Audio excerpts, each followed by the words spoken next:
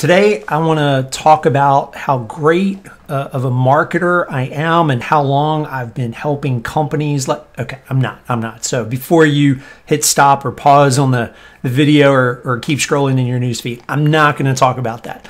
Um, you don't want to hear about that. What I am going to talk about is mistake that a lot of brands, uh, a lot of marketers are making. Maybe you're making it, and it, it's going to cost you opportunities. It's going to cost you business and I'll also tell you a little bit more about why um, I've got this headlamp on. So, my name is Steve Phipps, and this is your weekly marketing tip from Wayfind Marketing. So, here's the thing your customers and prospects come to you because you can help solve a problem. And to put this in context of a story, your character, your, your customer is the hero of the story.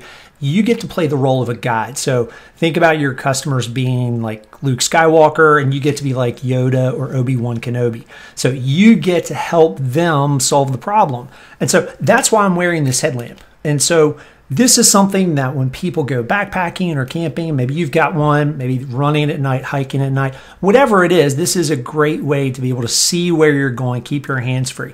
Well, imagine, if you will, that your customers are in the dark, they don't have a flashlight, they don't have a headlamp, they don't have anything to give them light, but you do. Well, that means you get to help them solve that problem, whatever it is. And so, the, here, here's the mistake that brands make though is they talk about themselves. Um, like out of the gate, they talk about how great they are, how many awards they've won, how many years they've been in business, how many trucks they have in their fleet. There's all kinds of information that that some of it might be relevant, but when when they lead with that, they're going to miss opportunities because what they're doing is they're putting themselves as the hero. So so stop. Don't don't make yourself the hero of the story. You're not your customers, your prospects want to know how can you help them solve their problem? They're the center of the story. And so be the guide.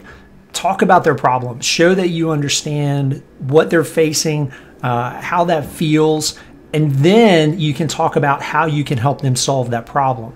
And if how many years you've been in business is relevant to helping solve that problem for them, fantastic. Let them know about that. But when you come out of the gate talking about you, you're going to alienate people. So, anyway, focus on being the guide. Uh, if you have questions about this, let me know. This is what we do. We use a framework called StoryBrand. I'm a, I'm a certified StoryBrand guide.